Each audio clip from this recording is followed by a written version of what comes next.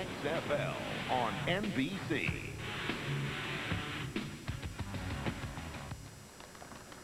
Hi, I'm Paola, and for the last 10 years, I've lived right here in Las Vegas.